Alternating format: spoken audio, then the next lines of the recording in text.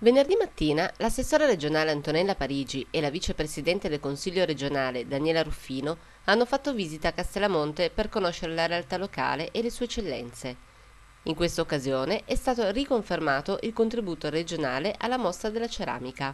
Riconosciamo il valore promozionale di questo evento, il fatto che nonostante siamo in un bilancio di emergenza manteniamo il nostro contributo poi chiedere di crescerlo mi sembra un po' troppo. Naturalmente bisognerà aspettare che il bilancio passi il Consiglio certo. regionale, la Giunta e l'assessorato alla cultura ha comunque deciso di costruire il proprio bilancio privilegiando le manifestazioni che eh, promozionano territorio e eccellenze.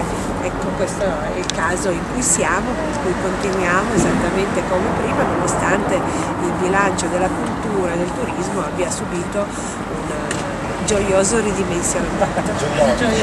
L'alleanza non è solo per il contributo, ma in realtà è un'alleanza del stare insieme per promozionare eh, debba essere dato atto all'assessore eh, di, di, questo impegno enorme sui territori perché la provincia di Torino e del Piemonte, i comuni sono tantissimi e devo dire che c'è una grande attività e quindi riuscire a cogliere tutte queste particolarità e comunque sostenerle non soltanto economicamente ma con tutta un'altra serie di iniziative eh, che ovviamente vengono messe in atto non è poca cosa come non è poca cosa essere presenti sul territorio. Per me eh, il, questi fatti che stanno avvenendo, l'assessore era nella mia valle eh, sabato scorso per promuovere eh, un progetto insomma, che anche in questo caso unisce i comuni, è un gesto di grande attenzione. In genere gli amministratori eh, locali si sentono soli.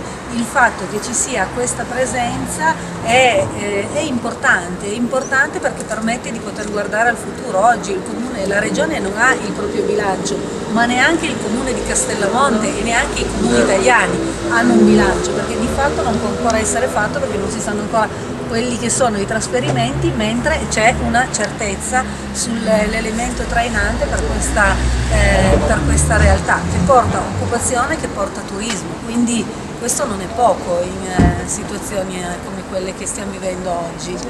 Ah,